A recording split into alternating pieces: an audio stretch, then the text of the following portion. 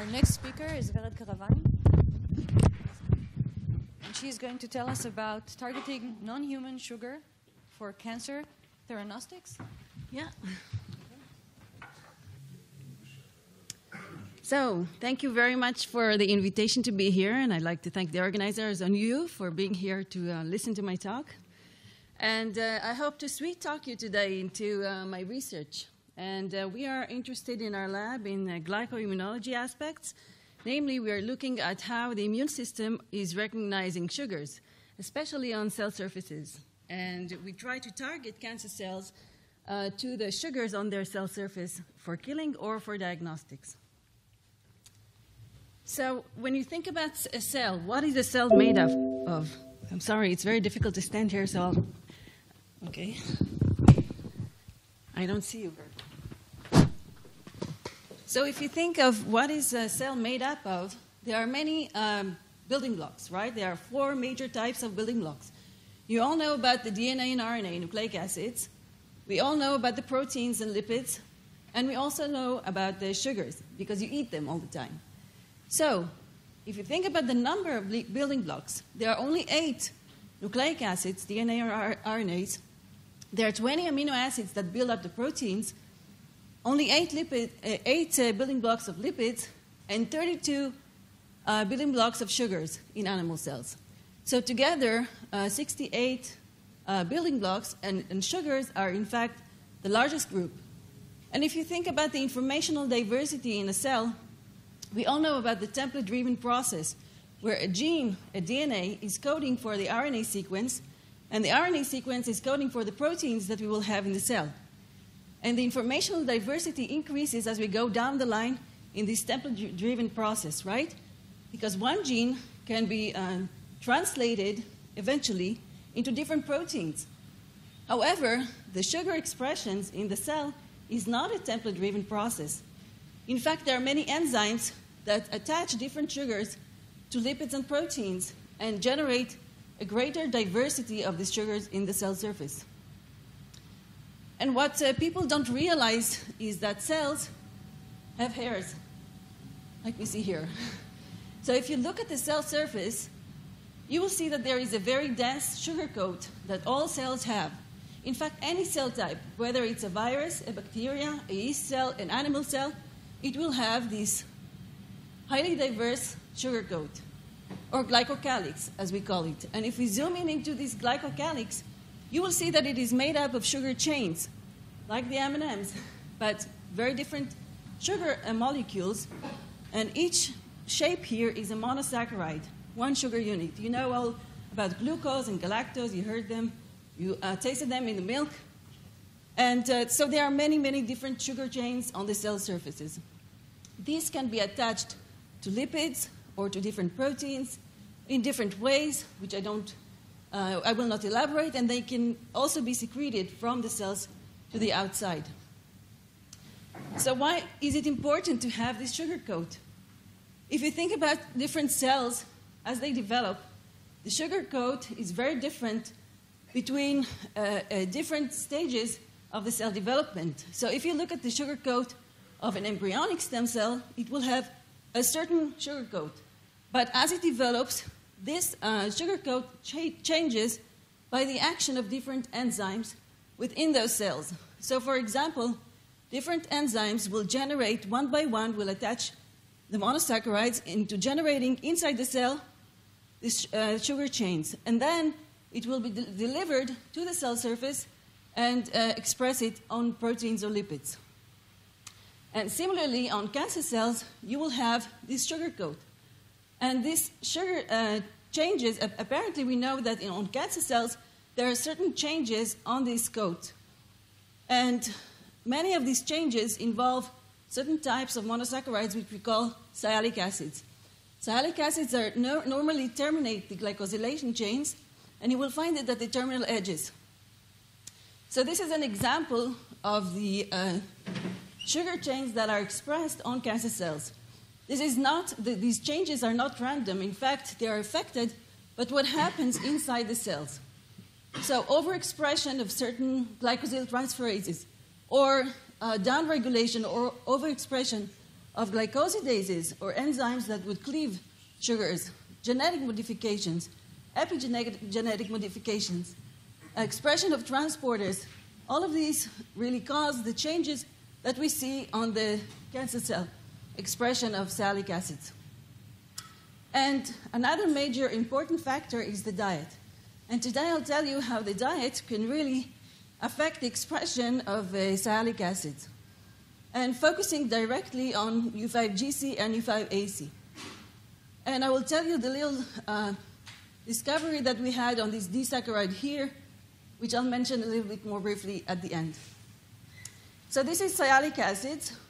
There are nine carbon backbone acidic sugars. You can see here the nine carbons. Uh, their acidity is uh, comp- composed from this carboxylate group that, we, that is found on uh, carbon number one. And um, these are the major types of sialic acid in mammalian cells. However, U5AC serves as the precursor for the synthesis of U5GC through the expression of this enzyme, CMP U5AC hydroxylase. And if you look carefully, you will see that the only difference between these two sugars is basically this, hydroxyl group here.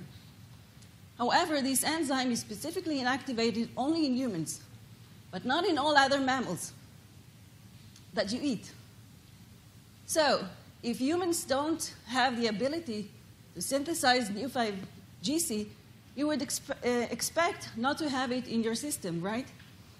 Uh, but this is not the case. If you look into uh, many carcinomas, like um, breast carcinoma, ovarian carcinoma, liver, pancreas, all those express this non human sugar on cancer cells.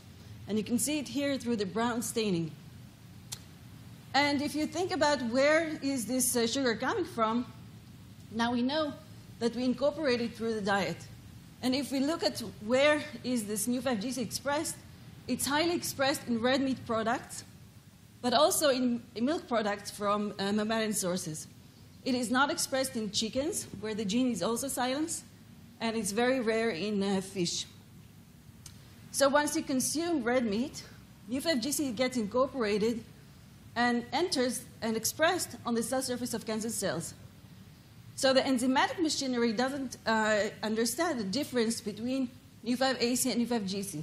However, the immune system can see this difference and generates multiple antibodies against this uh, sugar expressed on the cell surfaces. And if you try to really analyze human sera, you will see that there are many, many different types, isotypes, and uh, different types of antibodies that can recognize many sugar structures that on these uh, cancer cells.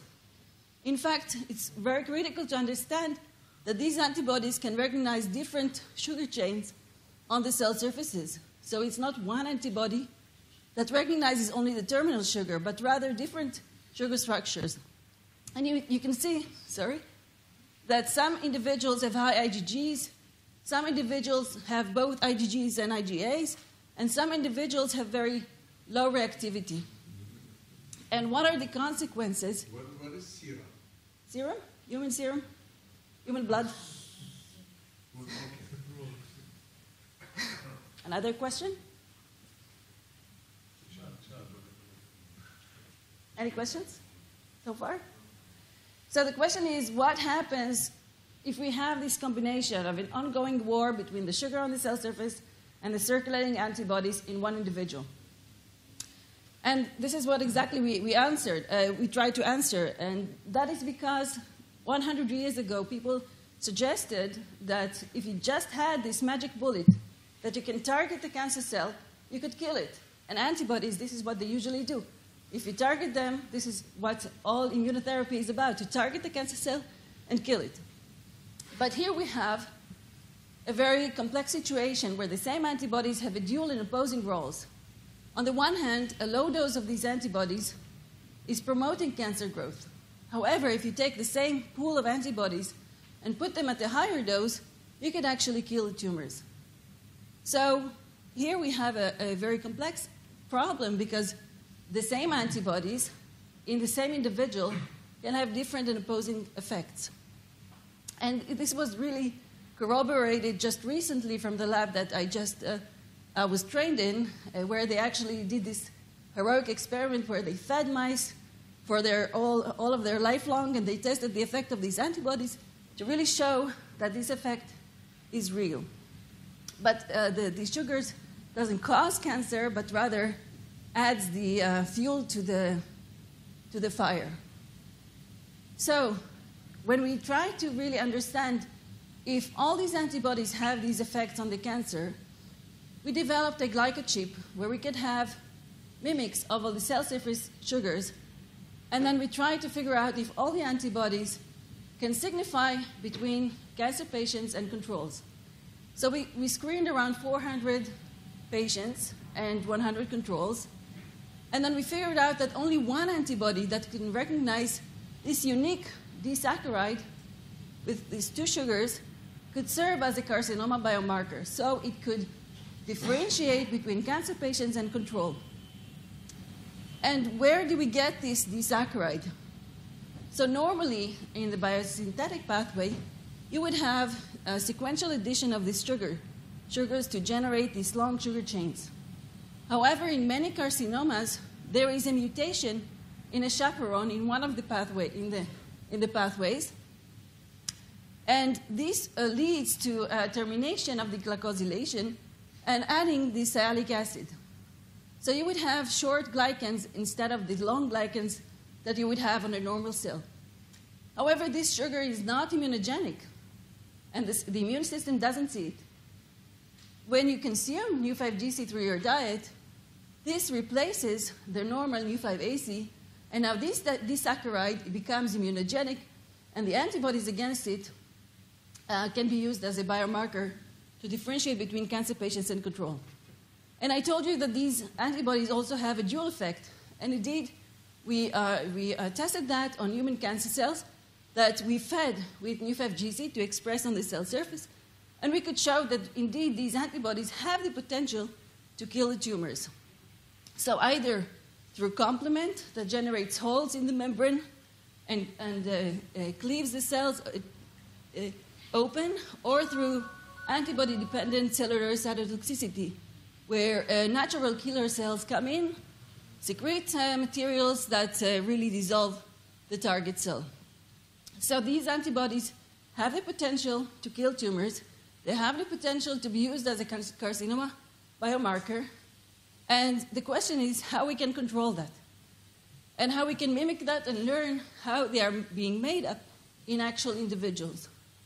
So in our lab, we are trying to uh, first mimic this uh, diverse anti-Mu5GC response by generating um, Mu5GC glyconanoparticles and eventually to try to uh, generate specific antibodies with these systems.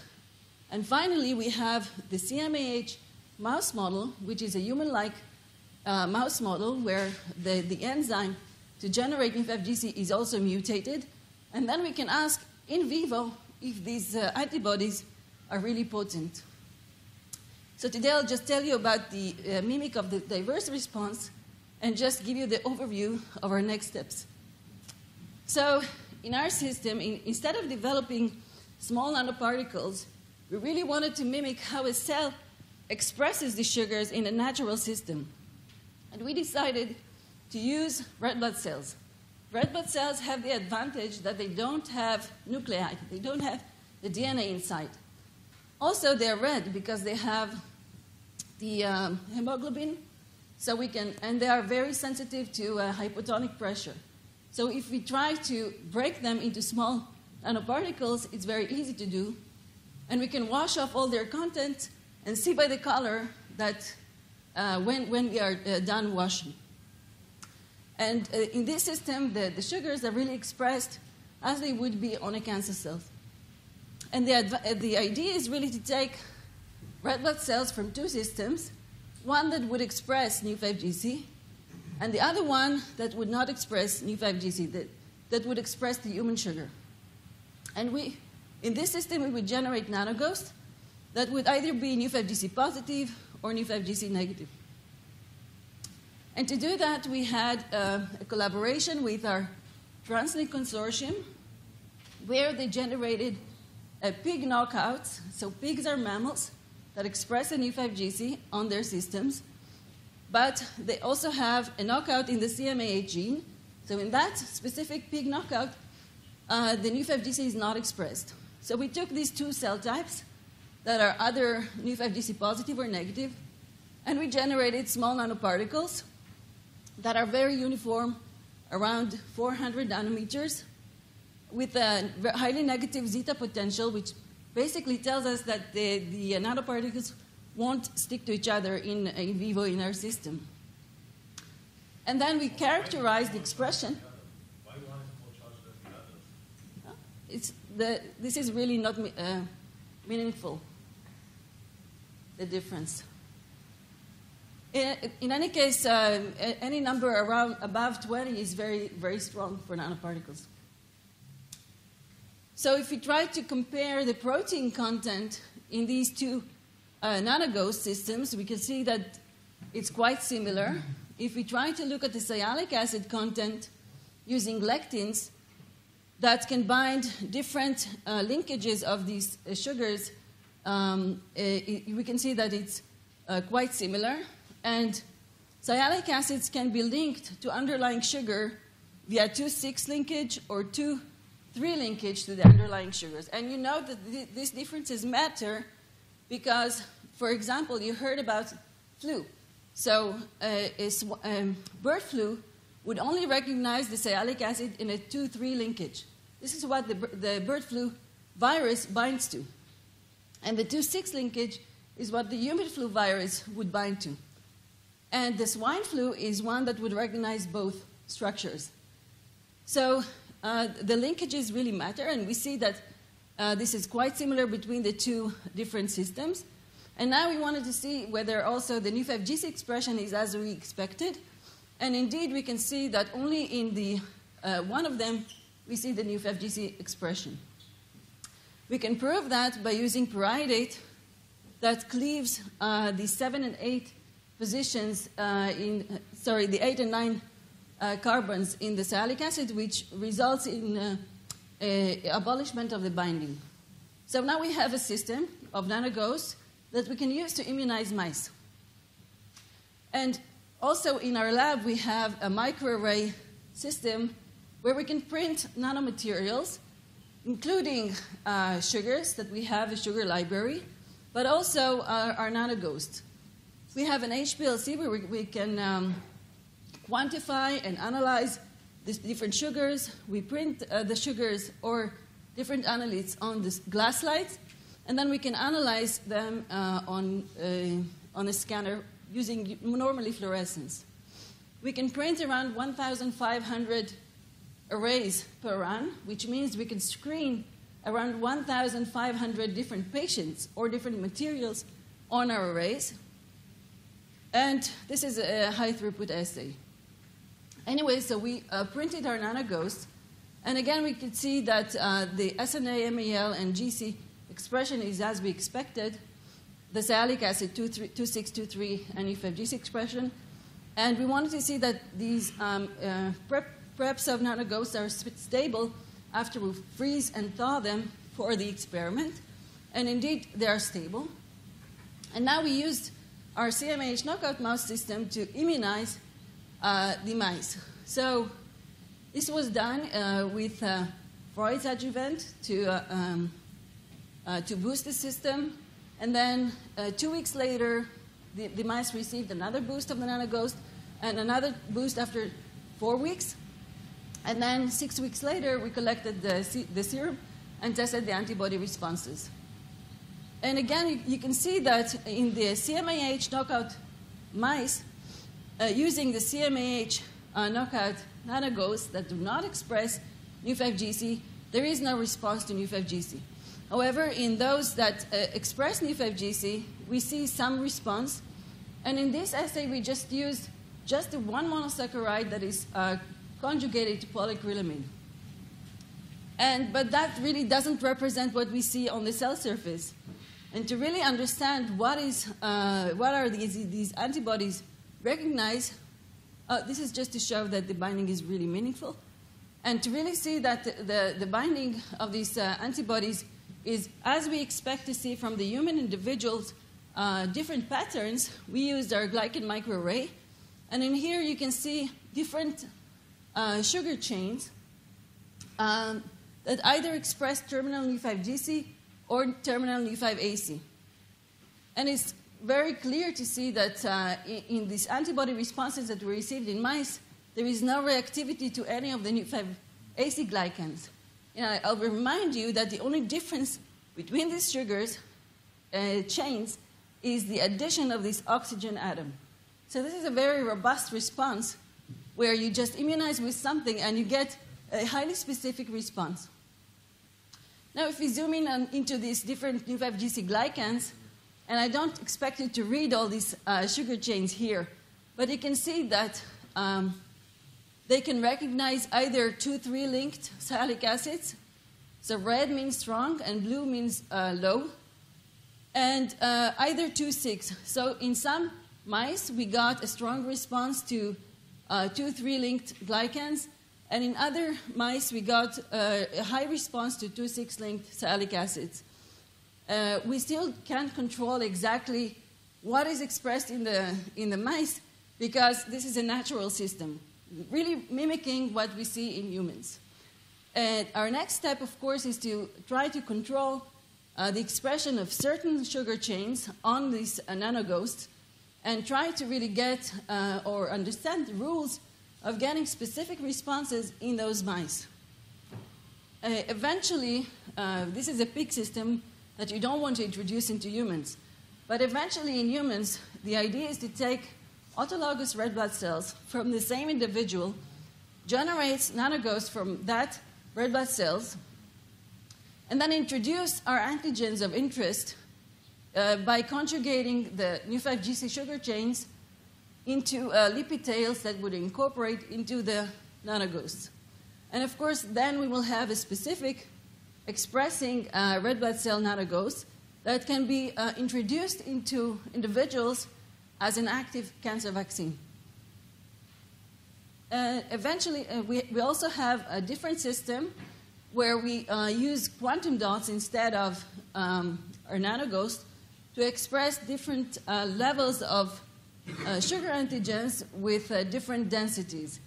This is really just an, an ongoing work, which I don't have the data to show you, but uh, this is something uh, to look for. And finally, I'd like to thank all my group in, uh, in the lab and our collaborators, uh, Professor uh, Cesare Galli and Jean-Paul Sililou, who provided the pig knockouts and the funding, of course. So thank you very much. I'd be happy to take any questions. Well, thank you for the fantastic talk, but I have to make sure I understood it right. So red meat and milk is out, but I can have chocolate and dark coffee? Okay. okay, questions?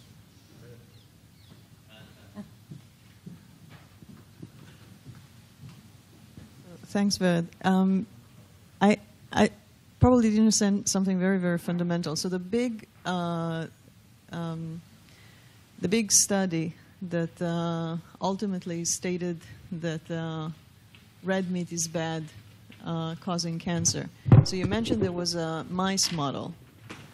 I, I, I don't get it. I don't, I don't, understand. So it's a mice model. It's the, the same. And what's the diet the mice are So having? these mice are knocked out in the CMAH, the same mice that we have.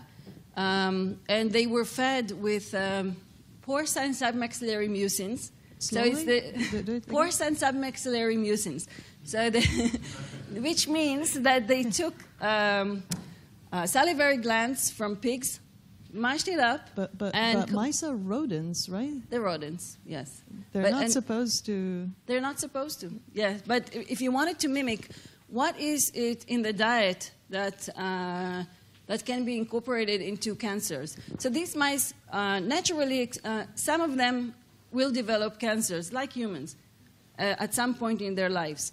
So they fed the mice over a three-year period, and then they looked in those mice that were uh, that were fed with a Nu5GC, and at the same time got antibodies. And in those mice that had both the antibodies and the sugar ex- expressed on the cancers, those cancers grow, grew bigger compared to the control group, which did not get the porcine submaxillary mucins, but they got the human sugar But, but the fact instead. that the fact that the diet is so not even remotely close to the natural diet that mice. I can tell you should that this was a 10 year experiment uh, because it was very difficult to know what exactly in how do you want to, to introduce the sugar in the diet. So I can tell you that we tried different, I didn't do that, but I was there when it was done. So they tried um, to just add the free sugar to the drinking of the mice, and that was just washed away immediately. So that really doesn't matter. So the, apparently, the sugar has to be conjugated to some proteins to enter the body as it is without being washed away. Um, we don't know exactly um, what's the turnover time, and, and another application of um, because the problem really matters when you have both the sugar and the antibodies. Not it doesn't cause the cancer as it is. If you just have the sugars on the cell surface, that wouldn't matter. But when the antibodies are circulating, uh, they bind, and if they are at low levels, they, they cause chronic inflammation in that area. And that chronic inflammation adds fuel to the fire in a way that it promotes the cancer growth. But if you had these antibodies, high affinity, targeted to a certain glycan structure at a high level, you could kill it. Well, let's thank Vered again.